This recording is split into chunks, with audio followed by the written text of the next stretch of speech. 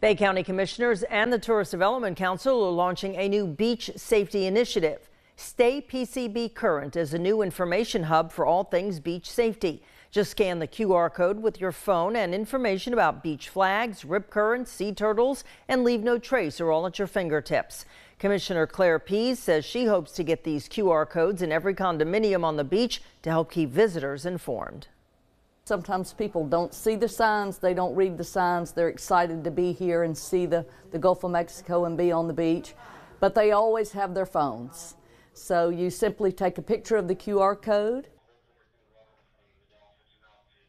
Anyone who wants one of these cling signs can get one from the TDC or Bay County.